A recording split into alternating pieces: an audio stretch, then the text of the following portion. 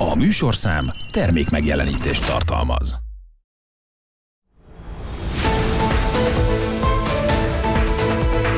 Itt a Napi Retro, a régi idők nagy pillanatai. A stúdióban már várja Önöket Séda Zoltán.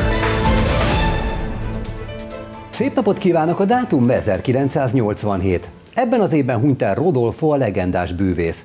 Minden akkori gyereknek biztosan volt otthon Rodolfo bűvész doboza. Állítólag az akkori felnőttek is rendelkeztek mágikus képességekkel, rengeteg alkoholt el tudtak tüntetni.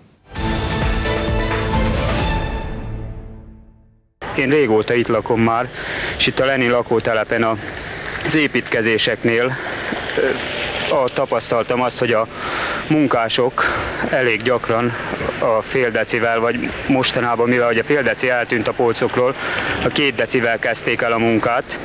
A közelünkben lévő kisbolt, amely már 5 órakor kinyit, hát a reggeli forgalom nagy része ebből bonyolódott, vagy szóval ebből adódott a szelszárusításból. Hát most megszűnt talán.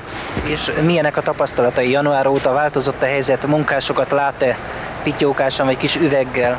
Hát talán kevésbé látok kis üveggel, a kis üvegeket viszont rengeteget látni a városba szanacét szórva, a diannás üvegeket, ami ugyancsak megnőtt a Dionnának a fogyasztása. Hogyan fogadták az új intézkedést a vásárlók? Pálfil László, a Sziget ABC vezetője. Január 3-án megtörtént a korlátozott szeszárusítás 9 órától.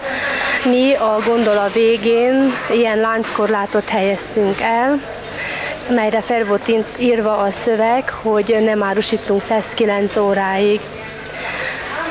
Figyelőink vannak és tanbolt vagyunk, és már a vevőt a szeszes gondola eléréséhez tájékoztattuk, hogy szeszt nem adunk ki 9 óráig, szíveskedjenek visszahelyezni a szeszt a gondolára, és a vevők aranyosak, helyesek voltak, szót fogadtak és visszarakták a szeszt. Nálunk a pénztár közelbe ebből kifolyólag semmi nemű incidens nem volt, a vevők megértőek voltak.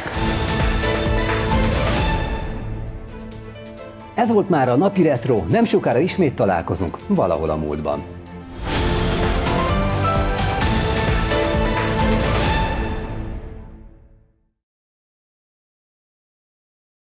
A műsorszám termék megjelenítést tartalmazott.